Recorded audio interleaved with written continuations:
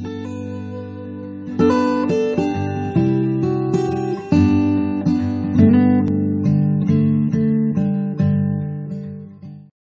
Everyone नमस्ते and welcome back to my channel आज की इस वीडियो में मैं बात करने वाली हूँ एक जाने माने इंग्लिश पोएट जॉन मिल्टन के बारे में। कुछ दिन पहले मनीष कुमार जी ने मुझे कमेंट करके जॉन मिल्टन के बारे में पूछा था, इसलिए मैंने सोचा कि इनके ऊपर एक वीडियो तो बनानी ही चाहिए। सो बेसिकली जॉन मिल्टन जो है, वो प्योरिटियन पोएट है प्योरिटियन सपोर्टर भी है, लेकिन इनको लेकर ज़्यादातर मैंने देखा है स्टूडेंट्स में बहुत कंफ्यूजन रहता है, क्योंकि ये जिस एज से बिलोंग करते हैं, जिस एज में इन्होंने वर्क्स लिखे हैं, या फिर इनका जो टाइमलाइन है मतलब 1608 से 1674 तक इंग्लैंड में social upheaval and political turmoil का दौर था।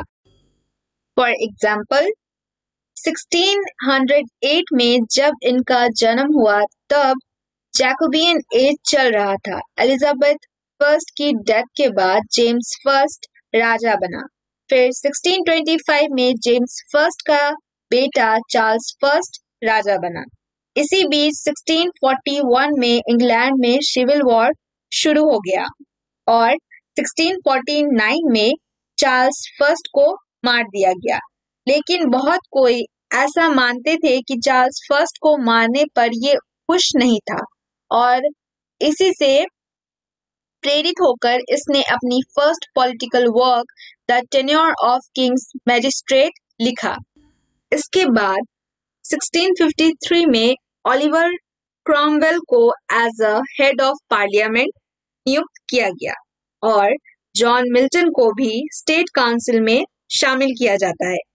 अब 1658 में ओलिवर क्रॉमवेल की डेथ हो जाती है, जिसके बाद 1660 में चार्ल्स फ़र्स्ट का बेटा चार्ल्स सेकंड को राजा बना दिया जाता है और रेस्टोरेशन एज शुरू हो जाता है, जो रहता है 1660 से लेकर 1700 तक। इसके बाद हमारा जो new classical and Augustan age है, वो शुरू होता है।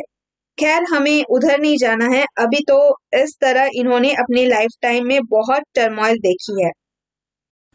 एक और चीज़ जो इन्होंने देखी थी, वो थी अपने लाइफ टाइम में थ्री टाइप्स ऑफ़ पोएट्स पहला है मेटाफिजिकल पोएट्स जो कि हमारे डन हो गए और रिचर्ड क्रशो हो गए।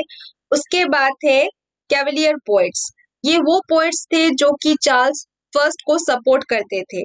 और तीसरा प्यूरिटियन पोएट जो ये खुद थे। अब हम इनकी जरा बायोग्राफी देख लेते हैं। तो इनका जन्म नाइन्थ दिसंबर को 1608 में हुआ था और 8 नवंबर 1674 में इनकी डेथ हो गई थी। तो इनकी जो लाइफ टाइम यानी 1608 से लेकर 1674 है, इनकी जो लाइफ टाइम है, उसको एज एज ऑफ़ मिल्टन के नाम से भी जाना जाता है, इसको आप याद रखिएगा। अगर हम इनके एजुकेशन की बात करें तो मिल्टन अपने एजुकेशन को लेकर बहुत ज़्यादा सीरियस थे।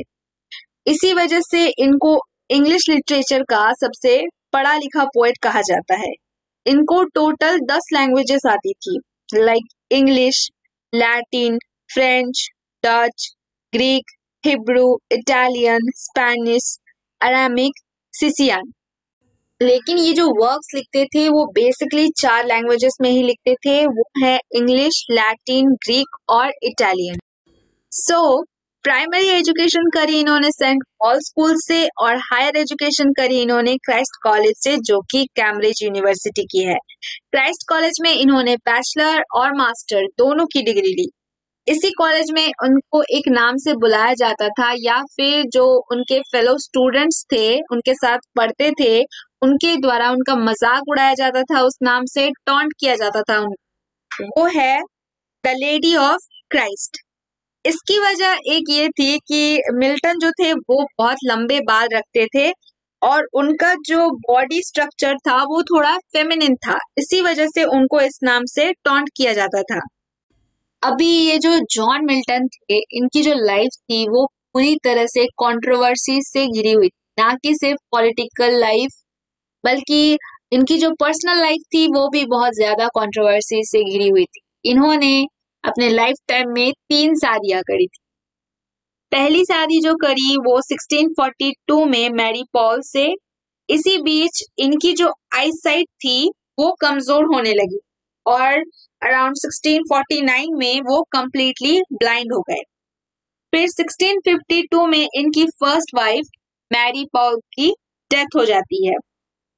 1656 में इन्होंने दूसरी शादी की कैथरीन उटकुक से, जिनकी 1658 में डेथ हो गई।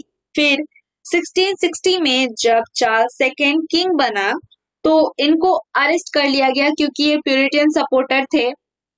लेकिन जब इनकी हालत देखी गई तो पहले इनको तो अरेस्ट किया गया था, लेकिन उसके बाद फिर इनको रिलीज़ कर दिया गया। फिर 1663 में वो एलिजाबेथ मेंशुल से शादी करते हैं।